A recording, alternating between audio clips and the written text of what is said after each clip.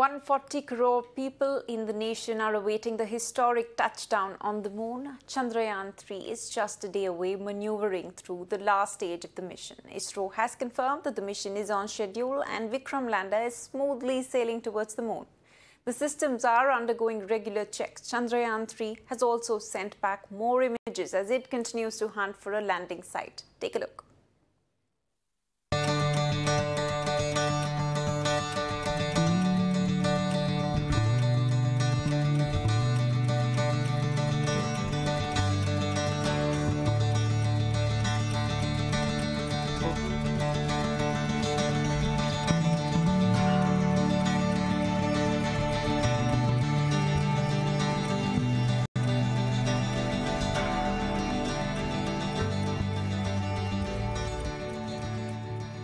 And take a look at our next report on how Chandrayaan will perform its experiments on the moon and what the success of Chandrayaan 3 would mean for the Indian space sector.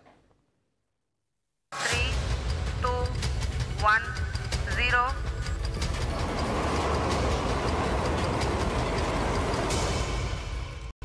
Here comes a teaser from the moon.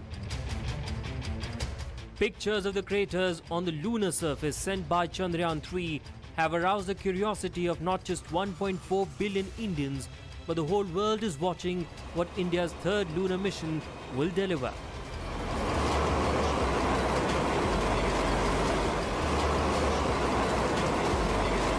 Definitely, that is uh, when if you are landing on the moon and uh, to do the scientific experiments and roving, that, then definitely we are the fourth country uh, in the world to do the function. That way, that globally, that also will be, will join the elite club of landing on the moon.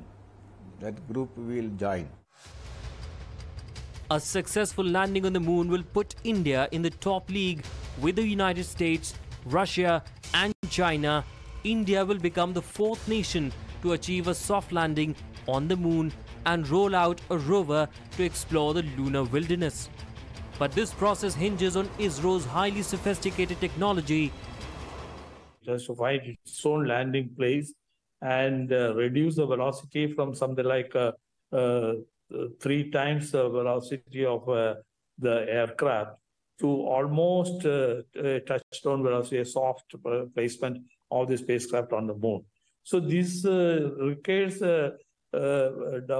very complex technologies involving stereo cameras, laser rangers, radars, and all these signals getting into a computer and carrying out the, all the operations in an autonomous manner. So it is a technology demonstration in terms of the hardware and software is the first and foremost challenge.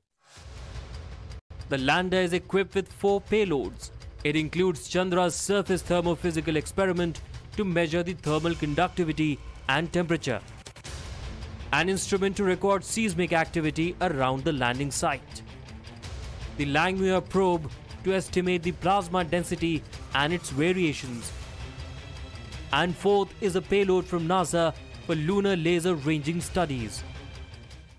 अब land हो चुका है lander on the surface of the moon Vikram के land होने के बाद rover बाहर आएगा and it will of course explore the entire surface of moon and gather important critical data send it back to earth transmit all the data back to earth और जब ये सब कुछ हो रहा होगा the rover and the lander will always stay connected.